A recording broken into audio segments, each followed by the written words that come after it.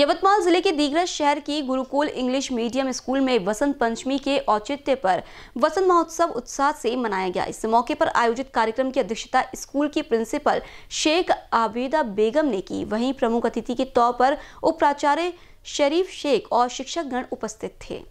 इस मौके पर मान्यवरों के हाथों सरस्वती पूजन कर कार्यक्रम का आरंभ किया गया।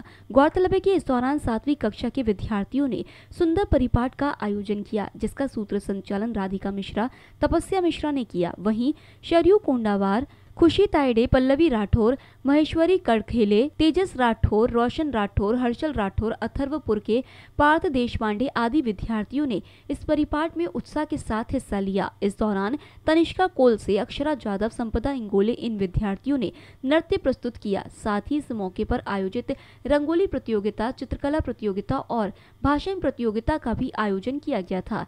इन सभी प्रतियोगिता के विजेताओं को मान्यवरों के हाथों पुरस्कार वितरित किए गए। कार्यक्रम में पर्यवेक्षक अनिकेत कोल से पर्यवेक्षिका एन श्रीषा, सीमा मिश्रा सहित स्कूल के शिक्षक, कर्मचारी और विद्यार्थी प्रमुखता से उपस्थित थे। इस कार्यक्रम को सफल बनाने के लिए गुरुकुल स्कूल के शिक्षकों ने योगदान दिया। बीसीएन न्यूज़ के लिए दीगरज से जुबेर खान की रिपोर्ट।